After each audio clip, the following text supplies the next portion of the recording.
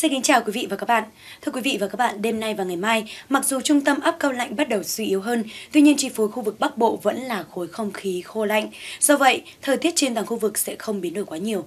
Đêm và sáng trời rất buốt, với nền nhiệt độ thấp nhất tăng nhẹ, phổ biến từ 7 cho đến 10 độ, vùng núi từ 4 cho đến 6 độ. Một vài nơi thuộc vùng núi cao như Sapa, Lào Cai, Ngân Sơn, Bắc Cạn và Trùng Khánh, Cao Bằng, Mẫu Sơn, Lạng Sơn sắp xỉ ngưỡng 1 độ.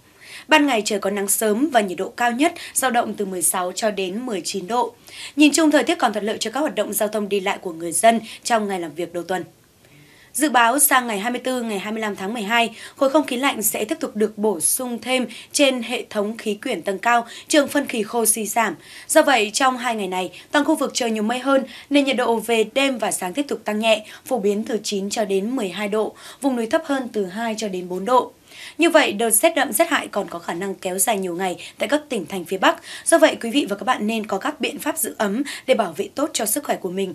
Bà con tại các tỉnh vùng núi tiếp tục có biện pháp ủ ấm cho vật nuôi, che chắn cho cây trồng để tránh những thiệt hại đáng tiếc xuôi xuống các tỉnh thành miền Trung. Mưa đã xuất hiện trở lại dọc ven biển các tỉnh thuộc khu vực Trung Trung Bộ. Tuy nhiên với lượng không nhiều, dự báo trong 2 đến 3 ngày kế tiếp, đời gió đông bắc kết hợp với điều kiện địa hình vẫn là nguyên nhân chính gây ra mưa rào trên khu vực. Tuy nhiên vùng mưa vẫn chủ yếu tập trung từ các tỉnh Quảng Bình cho đến Phú Yên với lượng ngày là từ 5 cho đến 10 mm. Trời rét sâu từ khu vực Thanh Hóa cho đến tận Thừa Thiên Huế. Trong đó, các tỉnh như là Thanh Hóa, Nghệ An còn có rét đậm rét hại khi nhiệt độ cao nhất ngày không vượt quá mức 20 độ. Trong khi đó, đi xuống sâu hơn nên nhiệt độ có xu hướng tăng dần. Từ Đà Nẵng trở vào cho đến Quảng Ngãi trời rét nhẹ, từ Bình Định cho đến Phú Yên trời xe lạnh và các khu vực còn lại từ Khánh Hòa cho đến Bình Thuận sẽ có nền nhiệt độ mát mẻ với nhiệt độ cao nhất ngày từ 26 cho đến 28 độ. Khu vực còn lại, các tỉnh Tây Nguyên và Nam Bộ, thời tiết vẫn ổn định và ít biến đổi trong vài ba ngày tới. Trời phổ biến ít mưa hừng nắng. Tuy nhiên chỉ lưu ý là trong những ngày này, nếu du khách có dự định đến với vùng cao Tây Nguyên thì cần trang bị cho mình áo ấm vì nhiệt độ về đêm và sáng tại đây khá rét, có thể xuống đến mức 13 đến 16 độ.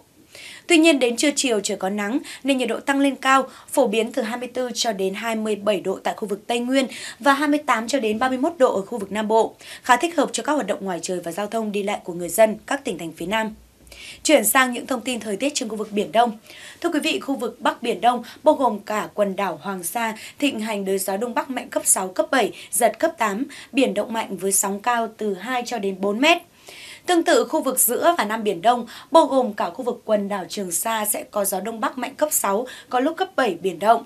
Mưa rông rải rác xảy ra ở phần phía nam của khu vực và trong cơn rông cần đề phòng có tố lốc và gió giật mạnh. Tàu thuyền không nên ra khơi xa trong điều kiện biển còn động mạnh và sóng lớn. Đến đây thì bản tin thời tiết cuối ngày của kênh VTC14 xin được khép lại. Xin kính chào tạm biệt và chúc quý vị có một đêm ngon giấc.